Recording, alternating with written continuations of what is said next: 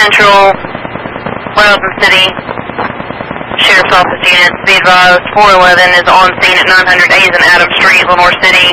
Was originally an issue over a custody of a dog. He's not on scene advising physical domestic in progress.